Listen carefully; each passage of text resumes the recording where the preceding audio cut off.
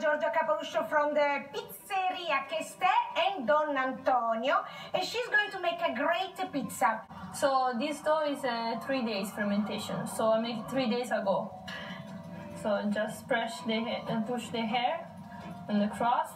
You're massaging your pizza? Yeah. So now it's ready, Yes. and I make pizza with truffle. This white truffle and porcini, Oh, All so it's together? a mix. Yes. Okay. and I use just one spoon.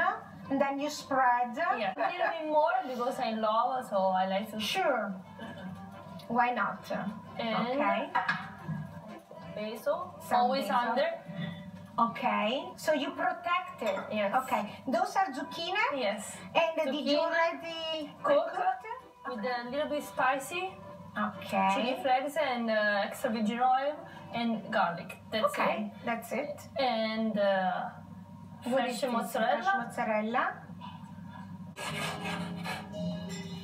This is not the peel I always use. it. Yes, I know. So it's almost brand new. Yes, I can. Absolutely. Here we go. and that's it. I put this is the electric oven, so I put on the fif- 530, the maximum. Okay. I already prepared one hour before. We You see how elegant is this pizza in this dish, right? Gorgeous, right?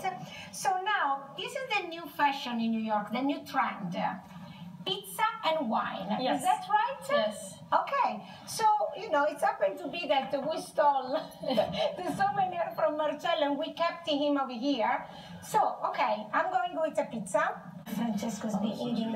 Okay, looks really good. What do you think? My first rule on pairing pizza and wine is you always pair with the toppings. So, example, if you use smoked mozzarella, you might want to pair it with a wine that's oaky.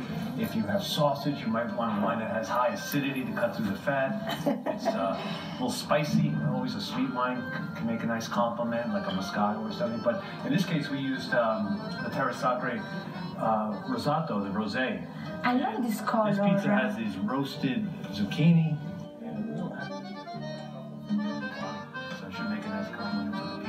What do you think? I think it's perfect. Yeah? Yeah. You like it? We, Yes. we, we let's do it. Your father going to do this pairing too? Yes, of course. And happy holidays to everybody.